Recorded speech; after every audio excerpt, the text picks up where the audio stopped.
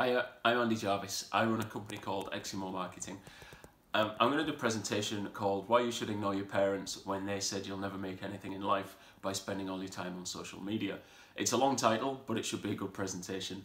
I've interviewed maybe 50 to 60 graduates in the last 10 years, and one of the things that can really help you stand out in that market is spending your time at university using social media effectively to build a personal brand.